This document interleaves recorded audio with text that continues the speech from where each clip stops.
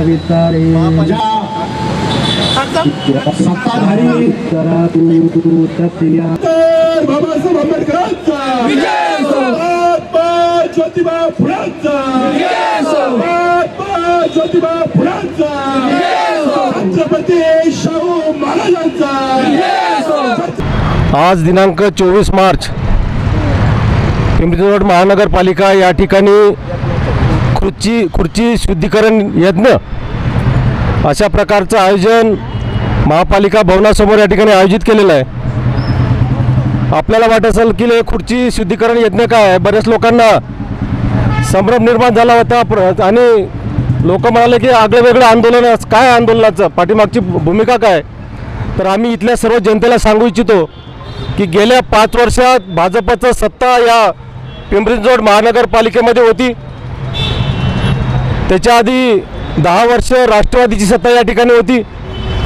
आणि मग राष्ट्रवादी सत्ता दहा वर्ष उपभोगत असताना त्यांनी केलेला भ्रष्टाचार बी जे पीनं जनतेसमोर मांडला. हे राष्ट्रवादी भ्रष्टाचारी आहे म्हणून आम्हाला बी जे पी म्हणाली की आम्हाला सत्तेत बसवा. आणि इथल्या जनतेने मोठ्या मनाने बी जे पीला मागच्या पाच वर्षात सत्तेत बसवलं. आणि मग त्या बी जे पीनं गेल्या पाच वर्षात या महानगरपालिकेवर सर्वसामान्य जनतेच्या पैशाच्या करावर डल्ला टाकला त्याच्यावर दरोडा टाकला आणि फार मोठ्या प्रमाणात यांनी इथं भ्रष्टाचार या महानगरपालिकेला आणि म्हणून आता त्यांची सत्ता गेलेली आहे पाच वर्ष पूर्ण झालेलं आहे.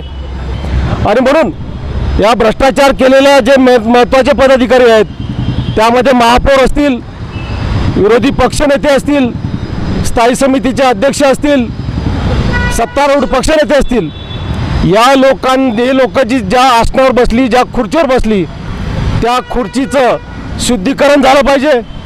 कारण की यातून पुढे येणारी जे काही पदाधिकारी असतील नगरसेवक असतील त्या ठिकाणी त्या खुर्च्या शुद्धीकरण करून घ्याव्यात. अशा प्रकारचा भ्रष्टाचार या महानगरपालिकेच्या जनतेला परवडणारा नाही. अशुद्ध झालेल्या खुर्च्या भ्रष्टाचारानं अशुद्ध झालेल्या खुर्च्या त्याला शुद्धी करण्याचं काम वंचित बहुजन आघाडीनं आज हाती घेतलेलं आहे. मागील पाच वर्षामध्ये भाजपने जो भ्रष्टाचार केलेला आहे आणि त्या भ्रष्टाचाराला साथ देण्यासाठी विरोधी पक्ष नेते नेते आणि विरोधी पक्षातल्या काही लोकांनी त्यांना मदत केलेली आहे. ह्या सर्वांनी ज्या ह्या खुर्च्या भ्रष्ट केलेल्या आहेत ह्या शुद्ध करून हे तुम्हाला माहीत नसेल येणाऱ्या दोन हजार बावीसच्या काळामध्ये वंचित बहुजन आघाडी यापैकी काही खुर्च्यांवर बसणार आहे आणि सत्ता उपभोगणार आहे. तर इथून पुढच्या काळामध्ये वंचित बहुजन आघाडीला किंवा महानगरपालिका पिंपरी चिंचवडला कोणी म्हणलं नाही पाहिजे की बाबा ही भ्रष्ट महानगरपालिका आहे किंवा त्या खुर्चीवर बसलेला अधिकारी भ्रष्ट आहे. याच अनुषंगानं आम्ही ठरवलेलं आहे की आम्हाला या गोष्टीची खात्री आहे. येणाऱ्या दोन हजार बावीसला वंचित बहुजन आघाडीचे उमेदवार नक्कीच महानगरपालिका गाठतील आणि या खुर्च्या स्वतःच्या ताब्यात घेतील.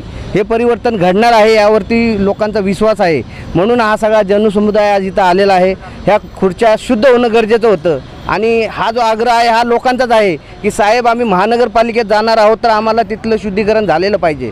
ह्या भ्रष्ट खुर्च्यांवर बसून आम्हाला भ्रष्ट व्हायचं नाही आहे किंवा तो काळिंबा लावून घ्यायचा नाही आहे याच अनुषंगानं आम्ही हे आज ठरवलं की बाबा या भ्रष्ट खुर्च्यांना आज आम्ही शुद्ध करण्याचं काम केलेलं आहे. की या खुर्च्या शुद्ध झाल्या पाहिजे कारण या खुर्च्यांवरचा भविष्यातला अधिकार हा आमचा आहे.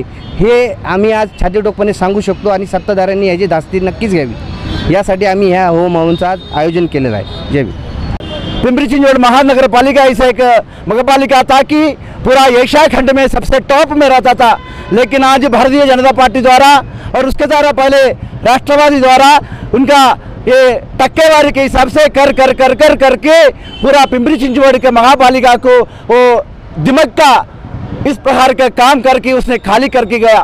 क्योंकि आज आने वाला इलेक्शन में वंचित बहुजन आघाड़ी सत्ता में आएगा, लेकिन अपन को भ्रष्ट कुर्सी में नहीं बैठना, इसी कारण से आज पिंपरी चिंचवड़ के महानगर पालिका के दिया गया भ्रष्ट का शुद्धिकरण उसके प्यूरिफिकेशन करने का काम आज वंचित बहुजन आघाड़ी ने किया। गेले पाच वर्ष बी जे पीला संधी दिली होती. त्याच्या आधी दहा वर्ष राष्ट्रवादीला संधी दिली होती. पण दोघंही साठलोटं करून जनतेला त्यांनी लुटलेलं आहे. जनता आता जागी झालेली आहे. आता त्यांच्या भूलथापांना बळी पर पडणार नाही.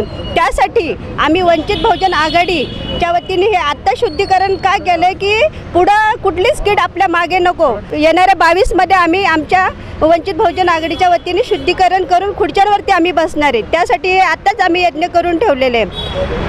कोरोनाच्या काळामध्ये ज्यावेळेस माझी जनता उपाशी होती तेव्हा हे सत्ताधारी लोक तुपाशी खात होते. त्यावेळेस कुठे यांना क- कळलं नाही की आमची जनता क- कशी उपाशी आपण त्यांची गरज भागवावी. त्यावेळेस त्यांना जनता दिसत नाही.